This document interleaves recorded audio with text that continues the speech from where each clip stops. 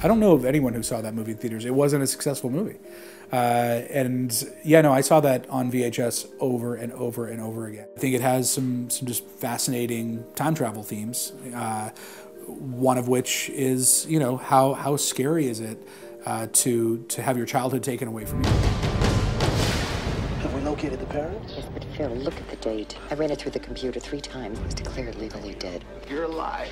Have I really been gone eight years? How how great a motivator is it to accomplish a mission to get that childhood back and to to be able to to live the years that were robbed of you for this very sci-fi reason.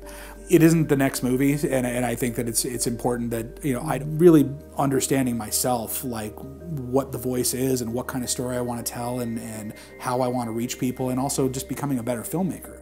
We think that there is there is more story to be told here. We think that there's there's a world that that can be explored and that that I don't think was explored fully, and also it's a 30 year old movie and there's another generation there's been like five generations since but you know my son uh, who's four uh, there, there's a version of this movie uh, that's for him.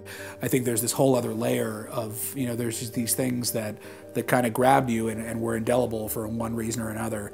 And then as an adult you're kind of like pulled back in uh, to your childhood and you sort of see it through those eyes again